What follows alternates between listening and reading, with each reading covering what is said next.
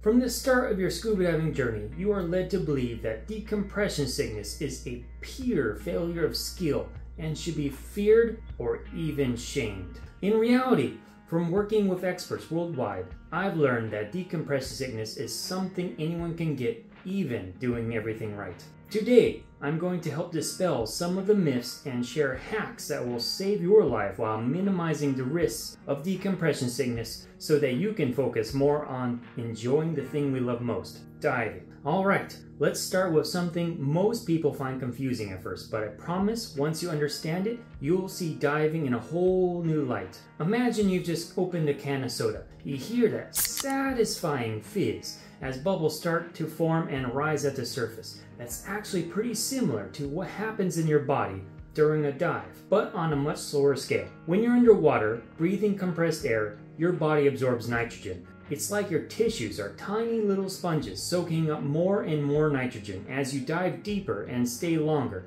This isn't harmful in and of itself, but here's where it gets tricky. As you ascend, the pressure around you decreases. Remember that can of soda? If you shake it up, and open it too quickly, you get a very messy explosion. Your body works the same way. If you ascend too fast, the nitrogen can form bubbles in your blood and tissue, potentially leading to what they call decompression sickness or what is traditionally called the bends. This is where safety stops come in. It is like slowly opening that shaken soda can, giving the nitrogen a chance to leave your body gradually. And the most important thing, safely.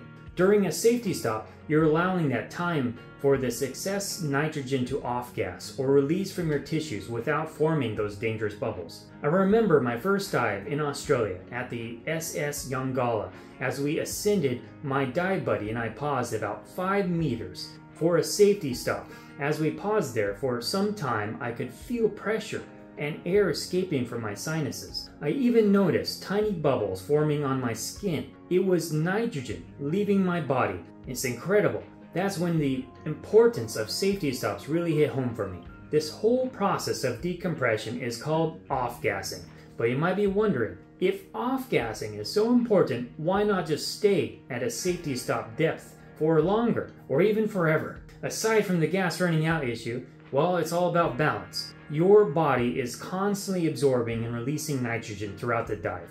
The goal of a safety stop is to tip that balance towards release, allowing more nitrogen to leave your body than what you're taking in. Understanding off-gassing is crucial because it helps you make better decisions underwater. When you know why you're doing a safety stop, you're more likely to do it properly every time. It's not just about following a rule, it's about actively participating in your own safety. And here's a pro tip. Even if your dive computer doesn't call for a safety stop, it's always a good idea to do one anyways. It's an extra layer of protection, especially if you've been diving close to your no decompression limits or challenging conditions. Remember, the effects of nitrogen absorption and off-gassing can be cumulative over multiple dives. That's why it's important to pay attention to your dive profiles and surface intervals, especially on multi-day dive trips.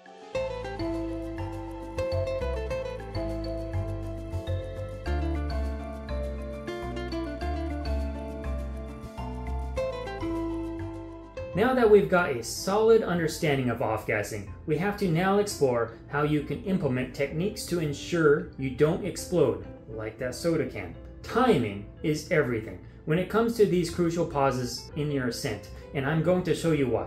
The most common and standard procedure for safety stop is pretty straightforward. You must pause at about 5 to 6 meters, and that's about 15 to 20 feet, for 3 minutes, and that might not sound like much, but trust me, for those a few minutes, can make all the difference and has been the benchmark of time that most practice for safety. Why this specific depth and duration? Well, it's all about striking the perfect balance. At 5 to 6 meters or 15 to 20 feet, the pressure is low enough to allow nitrogen to leave your tissues at a good rate, but not so low that bubbles start forming quickly. As for the time, 3 minutes is the absolute minimum you should aim for but 5 minutes give you a little bit extra safety buffer. Now, you might be wondering why safety stops are especially important for dives deeper than 10 meters. The answer is simple. The deeper you go, the more nitrogen your body absorbs. More nitrogen means you need more time to off gas safely. It's like letting a bigger balloon deflate.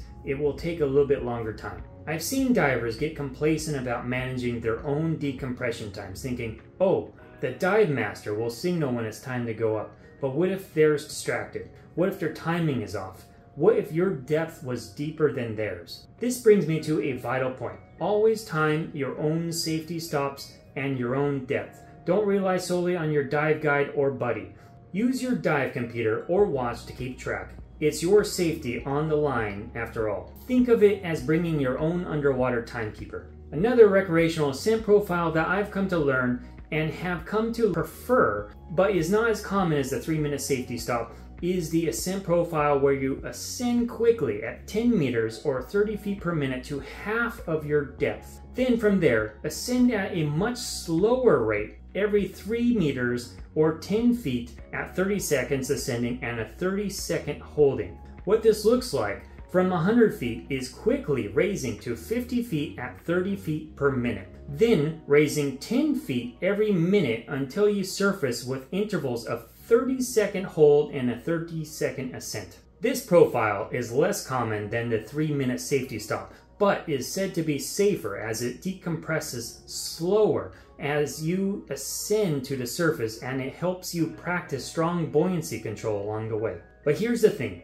mastering your safety stop timing isn't just about following the rules, it's about developing an intuitive understanding of your body's needs underwater. The more you practice, the more natural it becomes. Eventually, you'll find yourself automatically pausing at your decompression marks and assuming the stable and gentle hover position, your body and mind in sync with the underwater world. Now that we've covered the importance of timing, let's explore the most fundamental building block to all your dive skills as a scuba diver. This is the holy grail of skills in diving. It's the sweet spot for where you're neither sinking nor floating upwards. You're just suspended in the water, almost if gravity doesn't exist. During a safety stop, maintaining and pinning your depth naturally is crucial. It allows you to stay at the correct depth without constantly fighting to stay in position. This is called neutral buoyancy and you want to keep practicing to hold this hover state until you can multitask on something while maintaining neutral buoyancy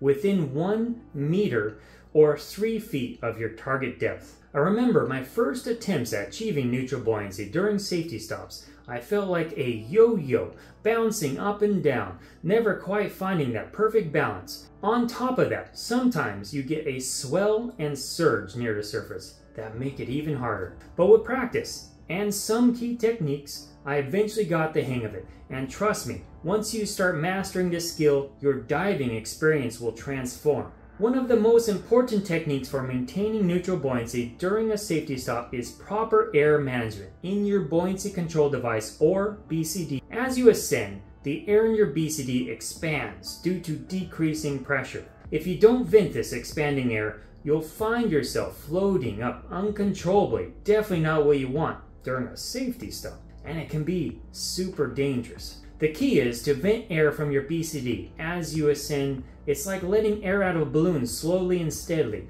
This adjustment keeps you neutrally buoyant as you rise. When you reach your safety stop depth, you should only need minimal adjustments to maintain your position. Now let's talk about body positioning. During safety stops, there's often a debate whether you should be vertical or horizontal. The truth is, you always want to stay in good trim, with fully flat and horizontal trim with your head back. This gives you the most resistance from ascending or descending outside your control as it is essentially forming a vertical brake, similar to what skydivers would do to slow themselves when they jump out of a plane. It's that air diving air brake position, and it works the same in water. Further, great buoyancy and trim are skills that every diver must work to keep strong. The safety stop is a great time to practice hovering with little movement and keep these sharp. Instead of doing those neat little water rings, try practicing neutral buoyancy with those safety stops. It will make a world of difference. Let's talk about some tips for practicing buoyancy control in various conditions. First, use visual references. If you have a DSMB, anchor, or any mooring line, it is good to use the line as reference and safety for what might be above. If you start drifting up or down, you'll notice it quickly and can make adjustments. Another tip is to practice your breathing. Slow, deep breaths help stabilize your position in the water. Rapid or shallow breathing can cause you to bob up or down. Remember your lungs are like a natural BCD. They affect your buoyancy with every breath. If you're diving in current, try to position yourself so that your current hits your head. This makes it easier to swim against it and maintain your point of references at all times. One of my favorite exercises for improving buoyancy control is the hover challenge. Once you reach your safety stop depth, try to maintain your position without using your hands or fins. It's harder than this sounds, but it's a great way to fine tune your buoyancy control. Remember, mastering your buoyancy isn't just about looking cool underwater, although that is a nice bonus. It's more about safety. Good buoyancy control means you're less likely to accidentally ascend too quickly or descend below your safety stop depth. It also means you're using less energy, which translates to longer, more enjoyable dives.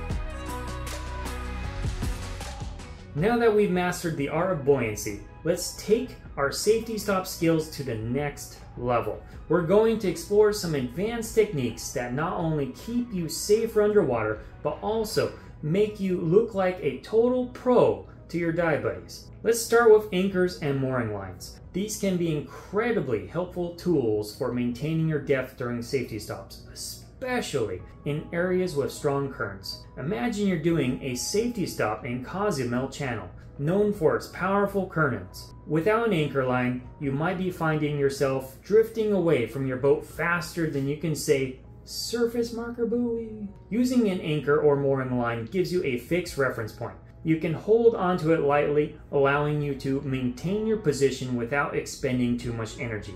This is particularly useful if you're feeling a bit fatigued after a long dive. However, it's important to remember that while these aids can be helpful, they're not without its risks. Always be mindful of your surroundings and avoid getting tangled in the line. Use your fingers like a V. If you're getting close to the line, you can put your fingers out and maneuver yourself to the line.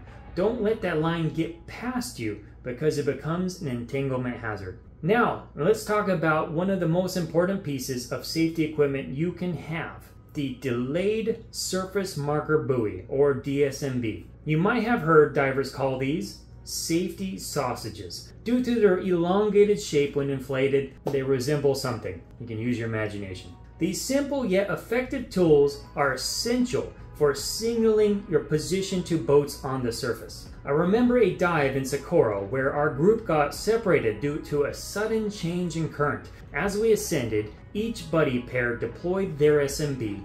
From the surface, our dive boat could easily spot the bright orange markers bobbing in the waves, making it simple to pick us all up safely. Here's why DSMBs are so crucial. They enable all boat captains in the area to know that divers are underwater below and could surface at any moment. This is especially important in areas that are heavily trafficked with boat or have limited visibility. If any member of the dive team has deployed a DSMB to notify boats above, it's important to then crowd around the DSMB line, being careful not to be entangled in it, but keep it in sight and use it as a reference for ascending and performing the decompression safety stop Remember, using a DSMB isn't just about signaling to boats. It also serves as a safety measure if you drift away from your intended ascent point during a safety stop. In essence, it acts as a lifeline to the surface world and your position, no matter where it may go. Now, you might be wondering, do I really need to use a DSMB on every dive? The answer is, it depends on the conditions. If you're diving from shore or in a protected area with no boat traffic, you might not need one.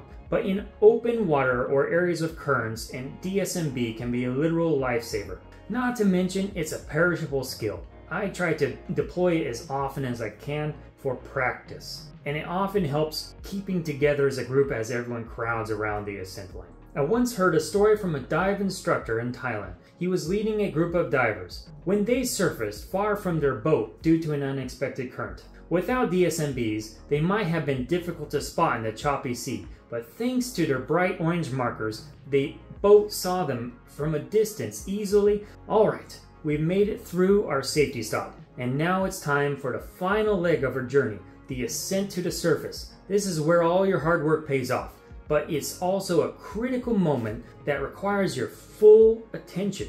Let's talk about why a slow ascent is so crucial. You've also spent time at your safety stop allowing excess nitrogen to leave your body safely.